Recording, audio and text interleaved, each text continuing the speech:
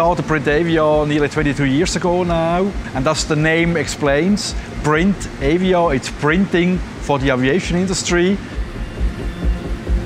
Our uh, product range today, uh, which, which we run through our presses, start with the baggage labels, point-to-point tags, interline, limited release tags, tickets, boarding passes, all sorts of terminal rolls and receipts to uh, air sickness bags, uniforms, workwear, safety equipment, PPE. So we have today about 3,500 items on stock. You, you can get nearly everything from us to run an airline or an airport operation you can see that we, we run here on a, on a two-shift uh, production.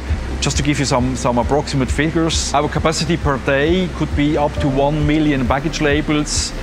And the nature of our production is very, very critical to have our products there in time, meaning if we have no back tags and boarding passes there on time, no check-in, and that means no airplanes taking off.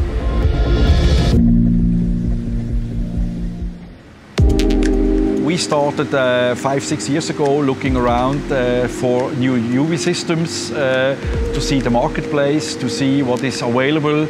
And we have uh, actually found a very good system uh, in GEW, which gives us the best benefit to run our operation in maintenance, in capacity, in the product range, or handling the system in, in, in the day-to-day -day life and having the quality we need. At the moment we have four installations. So we started with one uh, machine to, to have uh, the system in uh, and then we decided to implement this, this, the GEW system also the, to the rest of the machines. The UV process enabled us really to run the volumes and the capacity and this at the end is for us the, the key to have found new customers.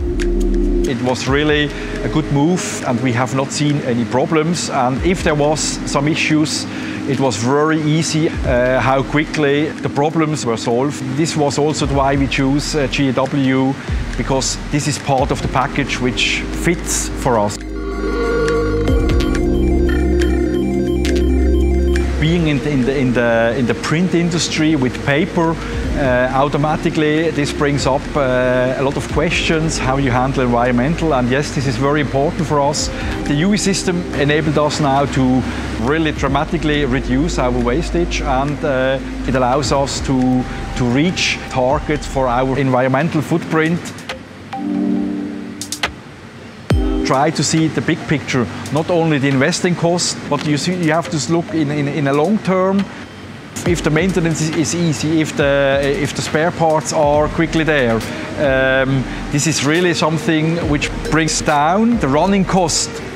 Again, with the efficiency of the product, makes it a success. And for us, it was the best decision.